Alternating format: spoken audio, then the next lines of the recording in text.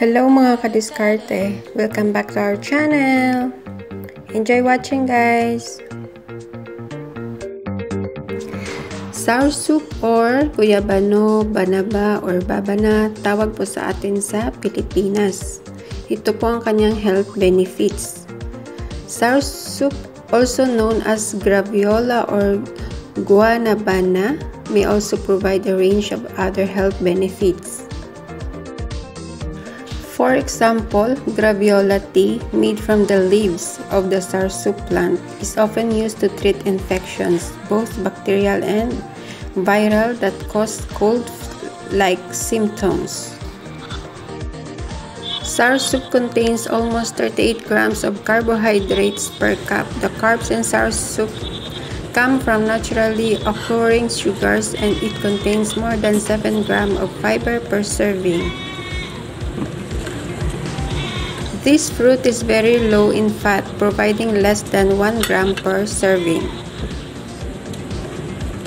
Sour soup, like most fruits, is not a good source of protein. A single serving contains only 2.3 grams of protein, so you'll need to incorporate other protein sources such as salmon, lean meats, and legumes into your diet to meet your daily needs. It is good source of vitamins and minerals too. Kaya kung may mga guyabano kayo dyan sa paligid nyo, ayan, take the chance na makakain po nito kasi marami po tayong makukuha na mga health benefits. Tulad ni Kuya, oh, shout out Kuya Rene Joy TV, nagbigay sa akin ng video. Ang sarap-sarap naman ang kain nito. Sa aming probinsya guys, marami din ito nakatanim sa gilid ng kanal. At kung mamunga siya, naku, super dami. Tapos, pwede mo rin itong ilaga yung dahon niya. Ayan. Pwedeng ipamuna, ipamuna sa mga sugat-sugat. Pwede din yun. Tapos, ah, uh, na-try ko rin po siyang lutuin. Yung hilaw na, yung hilaw na guyabano, pwede rin siyang gataan guys. Masarap yun siya. Parang langka siya. Pwede rin ilagay sa mga gulay-gulay natin. Pangsahog na parang langka style ba siya.